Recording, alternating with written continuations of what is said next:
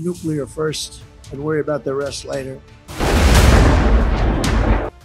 ಇರಾನ್ನ ಅಣ್ವಸ್ತ್ರ ಕೇಂದ್ರದ ಮೇಲೆ ಇಸ್ರೇಲ್ ಮೊದಲು ದಾಳಿ ಮಾಡಬೇಕು ಅಂತ ಅಮೆರಿಕದ ಅಧ್ಯಕ್ಷೀಯ ಚುನಾವಣೆಯ ರಿಪಬ್ಲಿಕನ್ ಪಕ್ಷದ ಅಭ್ಯರ್ಥಿ ಡೊನಾಲ್ಡ್ ಟ್ರಂಪ್ ಹೇಳಿದ್ದಾರೆ ತಮ್ಮ ಚುನಾವಣಾ ಪ್ರಚಾರದ ಸಂದರ್ಭದಲ್ಲಿ ಇಸ್ರೇಲ್ ಮೇಲಿನ ಇರಾನ್ನ ಕ್ಷಿಪಣಿ ದಾಳಿಗೆ ಸಂಬಂಧಪಟ್ಟ ಹಾಗೆ ರಿಯಾಕ್ಟ್ ಮಾಡಿರೋ ಅವರು, ಇರಾನ್ನ ಅಣ್ವಸ್ತ್ರ ಕೇಂದ್ರದ ಮೇಲೆ ದಾಳಿ ನಡೆಸದ ಹೊರತು ಎಲ್ಲವೂ ಸರಿ ಹೋಗೋದಿಲ್ಲ ಇಸ್ರೇಲ್ಗಿರೋ ಸರಿಯಾದ ಮಾರ್ಗ ಅಂದ್ರೆ ಅದೇ ಅಂತ ಸಲಹೆ ಕೊಟ್ಟಿದ್ದಾರೆ.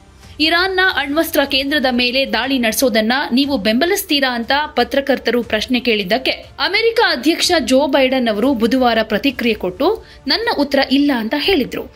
ಆದರೆ ಇಸ್ರೇಲ್ ಮೇಲೆ ಇನ್ನೂರು ಕ್ಷಿಪಣಿಗಳನ್ನು ಉಡಾಯಿಸಿದ ಇರಾನ್ ಕ್ರಮವನ್ನ ತೀವ್ರವಾಗಿ ಖಂಡಿಸಿದ್ರು. ಈಗ ಬೈಡನ್ ಹೇಳಿಕೆಗೆ ಪ್ರತಿಕ್ರಿಯೆ ಕೊಟ್ಟಿರೋ ಟ್ರಂಪ್ ನಮಗಿರುವ ದೊಡ್ಡ ಅಪಾಯವೇ ಅಣ್ವಸ್ತ್ರ. ಹೀಗಾಗಿ ಅದನ್ನೇ ಮೊದಲು ನಾಶಪಡಿಸಬೇಕು ಅನ್ನೋದು ಸರಿಯಲ್ವಾ? ಮೊದಲು ಅದನ್ನ ನಾಶಪಡಿಸಿ. ಉಳಿದದ್ದನ್ನ ನಂತರ ನೋಡ್ಕೊಂಡ್ರಾಯ್ತು ಅಂತ ಹೇಳಿದ್ದಾರೆ. ಇಸ್ರೇಲ್ ಅದನ್ನ ಮಾಡೋದಕ್ಕೆ ನಿರ್ಧರಿಸಿದ್ರೆ ಅವರು ಮಾಡೇ ಮಾಡ್ತಾರೆ. ಆದರೆ ಇರಾನ್ನ ಮುಂದಿನ ಪ್ಲಾನ್ಗಳು ಏನು ಅನ್ನೋದನ್ನ ನಾವು ಪತ್ತೆ ಮಾಡ್ತೀವಿ. ಇಸ್ರೇಲ್ ಯಾವ ಕ್ರಮ ಕೈಗೊಳ್ಳಬೇಕು ಅನ್ನೋದನ್ನ ನಾವು ಚರ್ಚೆ ಮಾಡ್ತೀವಿ. ಜಿ ಸೆವೆನ್ ಗುಂಪಿನ ಎಲ್ಲಾ ರಾಷ್ಟ್ರಗಳು ಇಸ್ರೇಲ್ ಪರವಾಗಿದೆ. ಅವರು ಏನ್ ಮಾಡ್ತಿದ್ದಾರೋ ಅದು ಸರಿಯಾಗಿದೆ. ಆದರೆ ಸರಿಯಾದ ಅನುಪಾತದಲ್ಲಿ ಪ್ರತ್ಯುತ್ತರ ಕೊಡಬೇಕು ಅಂತ ಹೇಳಲಾಗಿದೆ ಅನ್ನೋದನ್ನ ಟ್ರಂಪ್ ಹೇಳಿದ್ದಾರೆ. ನವೆಂಬರ್ ಐದಕ್ಕೆ ನಡೆಯೋ ಅಮೆರಿಕದ ಅಧ್ಯಕ್ಷೀಯ ಚುನಾವಣೆಯಲ್ಲಿ ಡೊನಾಲ್ಡ್ ಟ್ರಂಪ್ ಅವರು ಡೆಮೊಕ್ರೆಟಿಕ್ ಪಕ್ಷದ ಕಮಲಾ ಹ್ಯಾರಿಸ್ ವಿರುದ್ಧ ಸ್ಪರ್ಧೆಗಿಳಿತಾ ಇದ್ದಾರೆ. ಇವರಿಬ್ಬರ ನಡುವೆ ನಿಕಟ ಪೈಪೋಟಿ ಕೂಡ ಇದೆ. ಹೀಗಿರುವಾಗ ಇಸ್ರೇಲ್ ಮತ್ತು ಇರಾನ್ ಯುದ್ಧದ ಬಿರುಗಾಳಿ ಕ್ಷಣ ಕ್ಷಣಕ್ಕೂ ಜೋರಾಗ್ತಾ ಇದ್ದು, ಒಬ್ಬೊಬ್ರು ಒಂದೊಂದು ಹೇಳಿಕೆಗಳನ್ನ ಕೊಡ್ತಾ ಇದ್ದಾರೆ. ಕೆಲವು ದೇಶಗಳು ಯುದ್ಧ ಮಾಡಬೇಡಿ ಅಂತ ಹೇಳ್ತಾ ಇದ್ರೆ, ಇನ್ ಕೆಲವರು ಯುದ್ಧ ಬೇಕು ಅನ್ನೋ ಮನಸ್ಥಿತಿ ಇಟ್ಕೊಂಡಿವೆ. ಇರಾನ್ ಹಾಗೆ ಇಸ್ರೇಲ್ ಯುದ್ಧದ ಬಗ್ಗೆ ಭಾರತ ಗಟ್ಟಿ ನಿಲುವನ್ನ ತೆಗೆದುಕೊಂಡು ಈ ವಿಚಾರದಲ್ಲಿ ಶಾಂತಿ ಮಾತುಕತೆ ಮಾತ್ರ ಉತ್ತಮ ನಿರ್ಧಾರ ಅಂತ ಹೇಳ್ತಿದೆ.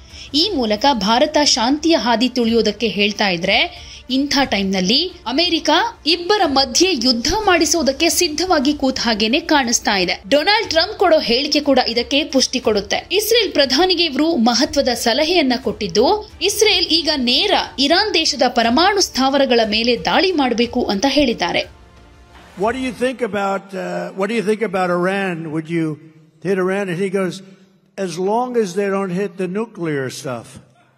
That's the thing you want to hit, right? I said, I think he's got that one wrong. Isn't that the what you're supposed to hit? I mean, it's the most, it's the biggest risk we have.